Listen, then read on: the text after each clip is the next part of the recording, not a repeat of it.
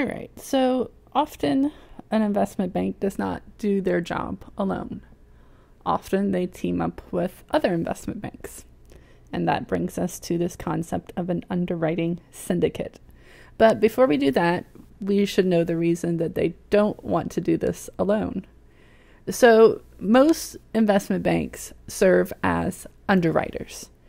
With an underwriting agreement, it says, is a contract between a firm and an investment banker. When the stock is issued, where the investment banker agrees to buy the entire issue at a set price and resells. In an underwriting agreement, the investment bank makes a promise to the firm that we will buy all of your stock and we will pay you this much. And then we will turn around, mark it up, and resell it to our clients. Okay. Here, since the investment bank is making a promise, they are taking on the risk. Okay. Um, the firm gets a guarantee.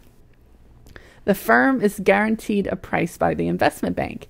And if the investment bank prices it too high, and you know promises too high of a price to the firm and then tries to turn around and sell it in the market, they have to eat those losses because they made a promise to the firm. They are taking on the risk.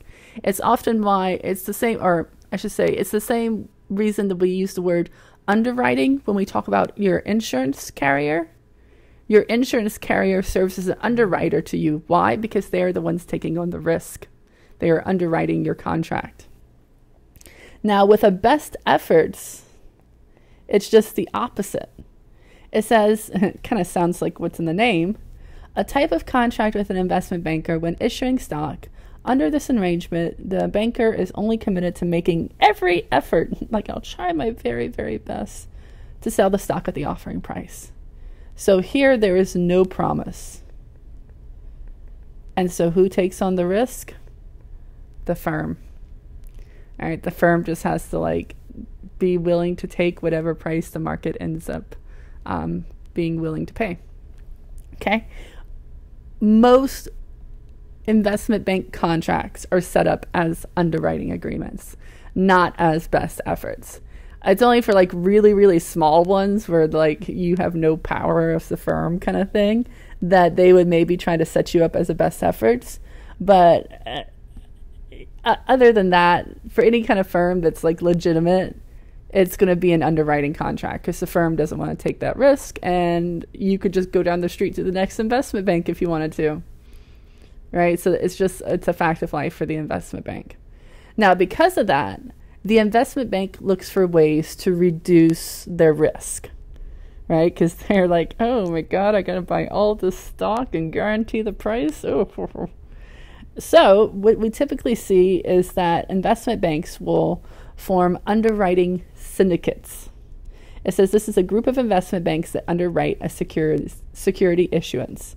Typically, you have a lead underwriter in that syndicate. They're like the lead investment bank. It says this is the investment bank that sets up a security offering and forms a syndicate to help sell it. All right, so you can kind of think of it like you have your lead up here, um, also sometimes called the managing underwriter. Then you'll have all your little investment banks under that, you know, that are part of the syndicate. And then, if it's an even larger issue, you could have investment banks under those investment banks that form what's called the selling group. So here's your syndicate, and then you have your selling group. Um, the difference between the syndicate and the selling group is more like a wholesale retail thing. So, like each of these little investment banks down here in the selling group will go and they will buy shares from the syndicate and then they'll turn around and resell it. So it's just breaking it down into smaller and smaller chunks because sometimes these deals can be so so big. And so it, it's rare to see an investment bank go at it alone. And again, it's for that reason that it's because it's an underwriting agreement and they don't want to take on that large amount of risk of guaranteeing the price to the firm. So they can form a syndicate, and then the syndicate can even expand into a selling group, um, just breaking it down into smaller, smaller chunks as we go. So, selling group just says all members of a syndicate plus additional dealers, and they're the ones that are usually selling directly to retail customers, right? So, the syndicate may deal with the institutional investors, and then the selling group may deal more with individual retail customers, just normal everyday people with lots of money. um, now, you are just for an example, really quick. Textbook gives the example of Facebook's IPO. The lead underwriter there was Morgan Stanley.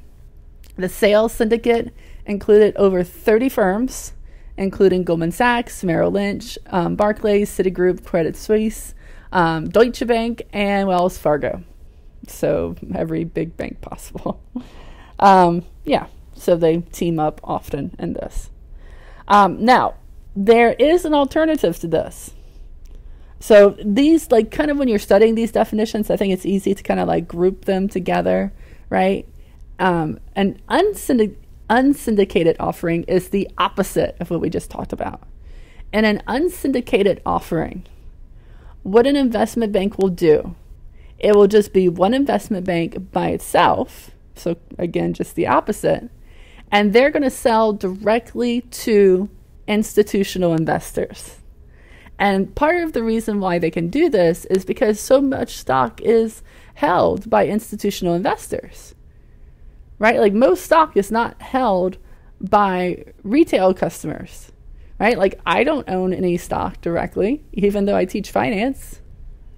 I have a 403b, which is the equivalent of a 401k, but a not for profit 401k, um, since I only have it from universities. But, you know, it's the same thing, but that would be considered institutional investing, right? Because that gets managed through um, a mutual fund into a retirement plan.